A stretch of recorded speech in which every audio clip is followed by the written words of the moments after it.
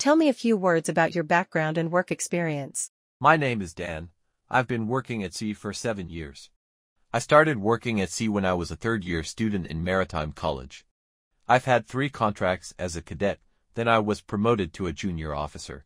After I had three contracts as a third officer and I've just finished my second contract as a second officer. What safety rules must be followed on board of the vessel? Our safety policy is regulated by company's safety management system. Every crew member has safety familiarization after he joins the vessel. He must be familiar with location of life-saving and fire-fighting appliances, know where his muster station and his actions in case of emergency. Crew member has to wear PPE when he works on deck, follow safety instructions during mooring and anchoring operations operation, take part in safety meetings. Before hazardous work risk assessment must be conducted and work permit is issued. How does stopping distance change in shallow water? Stopping distance usually increases in shallow waters.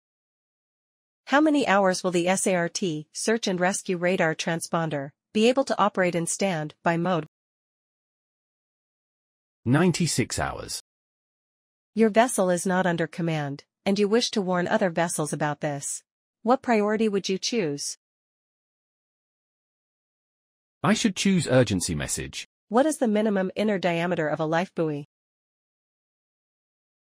400 millimeters.